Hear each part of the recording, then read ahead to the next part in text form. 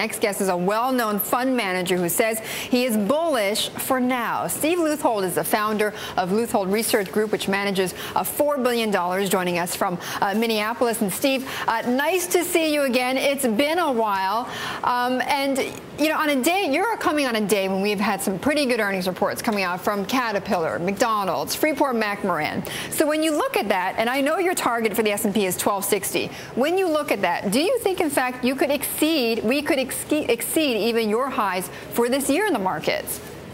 Oh, I suppose that certainly could be.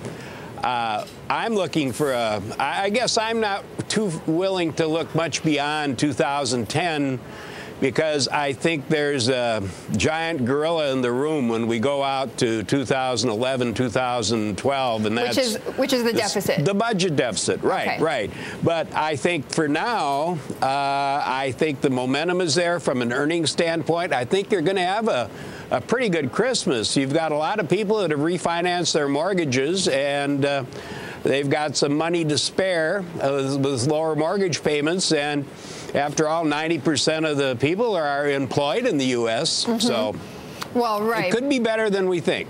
Uh, but for the 10%, of course, it's not who are unemployed. However, Steve, though, uh, we've got this this this disconnect. Do you not think uh, where earnings have come in so far so good, uh, yet the Fed continues to talk about and we continue to expect this QE2, and therefore that is why a man such as yourself is worried about 2011.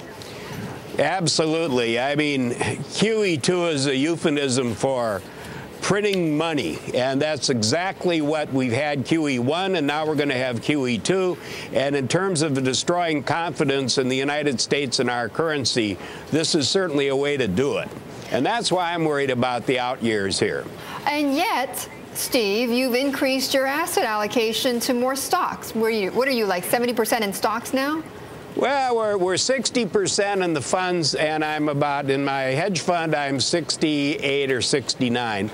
And that could be pulled back, and we've done that mostly with ETFs, and there's quite a bit of liquidity there, and we can withdraw that pretty quickly. Okay, and do you expect that, and I mean, the fact that you are in, in ETFs is because you think, Steve, that at some point in 2011 you will have to pull out pretty quickly?